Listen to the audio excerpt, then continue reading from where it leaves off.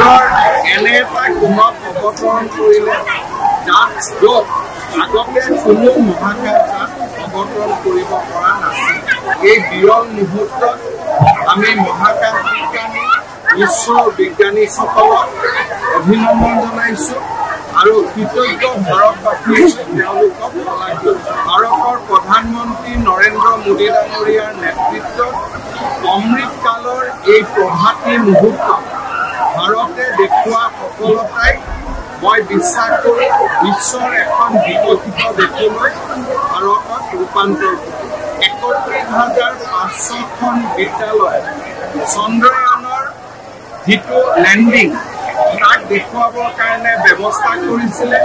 প্ৰায় চৈধ্য লাখতকৈও অধিক ছাত্ৰ ছাত্ৰীয়ে আজিৰ এই ছফ্ট লেণ্ডিং পৰ্যবেক্ষণ কৰিছে বুলি মোক শিক্ষা বিভাগে জনাইছে। শিক্ষা বিভাগক ধন্যবাদ জনাইছোঁ।